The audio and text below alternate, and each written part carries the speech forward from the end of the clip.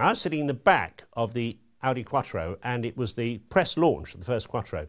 And sitting in front was Autocar's then sports editor John Miles, who was also a Grand Prix driver and, uh, and a German engineer who was driving. And we were doing 200 clicks, you know, kilometres an hour down the, a streaming wet autobahn.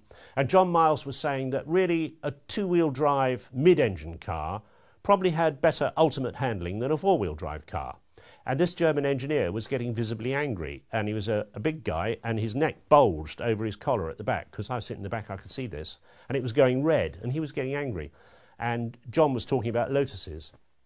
And suddenly, this German guy said, Yes, but can you do this in your Lotus? And he went, Wham! And we went, right over to the hard shoulder and then wham, straight back to the Armco and wham, this is on a streaming wet autobahn at 200 kilometres an hour.